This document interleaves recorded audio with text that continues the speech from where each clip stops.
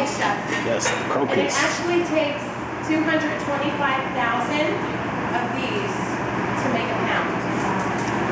And they're hand-picked, that's why they're so expensive. Okay, take our saffron, add it to that sugar,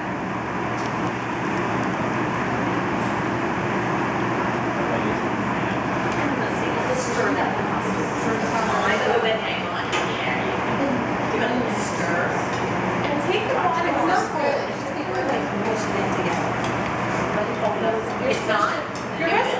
tell you to use the order and a